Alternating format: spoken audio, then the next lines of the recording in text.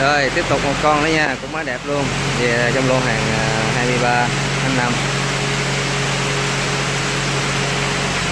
còn con này à, số khung là 953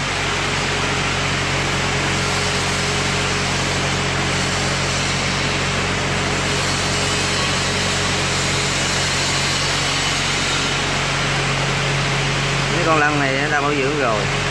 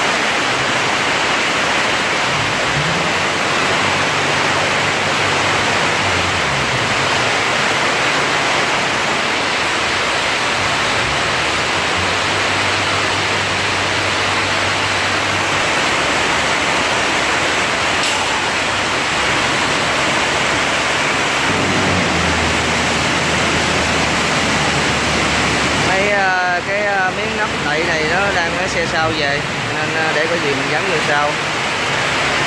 Để lúc chạy nó vô ờ, không thì nó tháo ra hết trơn rồi gắn lại sau tất cả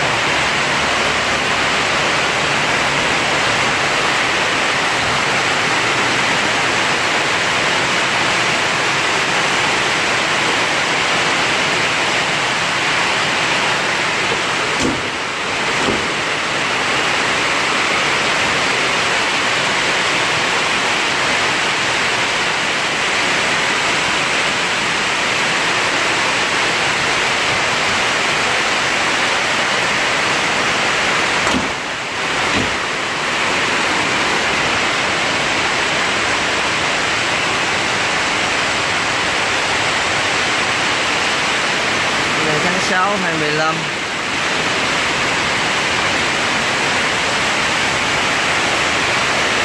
Hàm bông còn nguyên.